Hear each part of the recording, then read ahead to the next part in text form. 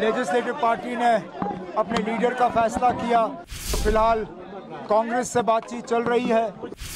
या तो आप सुनते नहीं हो, मैं क्या कह रहा हूँ। चार इंडिपेंडेंट एमएलए जो जीत के आए हैं, उन्होंने नेशनल कॉन्फ्रेंस को अपना सपोर्ट जो है, वो दे दिया है। कांग्रेस की चिट्ठी आ जाती है तो फ़ौरन जाएँगे। आज का दिन हमने दिया कांग्रेस को। मीटिंग के हवाले से जो फैसला हुआ, वो आप जानते हो। नेशनल कॉन्फ्रेंस की लेजिस्लेटिव पार्टी की मीटिंग हुई।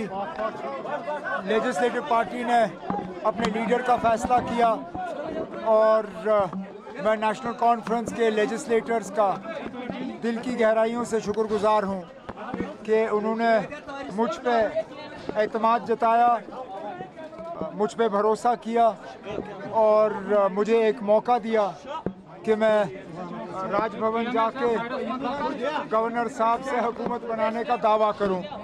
अब फ़िलहाल कांग्रेस से बातचीत चल रही है, ताकि उनका सपोर्ट जो है वो मिले लेकिन फ़िलहाल चार इंडिपेंडेंट एमएलए जो जीत के आए हैं, उन्होंने नेशनल कॉन्फ्रेंस को अपना सपोर्ट जो है वो दे दिया है तो अब नेशनल कॉन्फ्रेंस का जो स्ट्रेंथ है, वो 42 प्लस फॉर इंडिपेंडेंट्स सो 46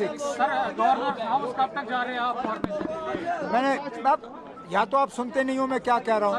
मैंने मैंने अभी आपसे कहा कि हम कांग्रेस के साथ बात कर रहे हैं ताकि उनकी चिट्ठी आ जाए। कांग्रेस की चिट्ठी आ जाती है तो फ़ौरन जाएँगे। आज का दिन हमने दिया कांग्रेस को वो अपना कार्रवाई कर लें।